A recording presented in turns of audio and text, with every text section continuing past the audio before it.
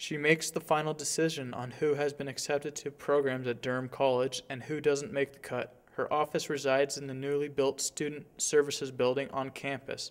Her name is Jennifer Powell, who is the Admissions and Recruitment Officer for Durham College and Media Art and Design. Be uh, ones that are a lot in the health area, so nursing, hygiene, um, dental assisting. Then there's also uh, police foundations, firefighting. Um, in my area, music business management and advertising. Um, the technology programs are all pretty popular, but they're not in the oversubscribed program yet. Powell says that the music business management is one of the most popular programs.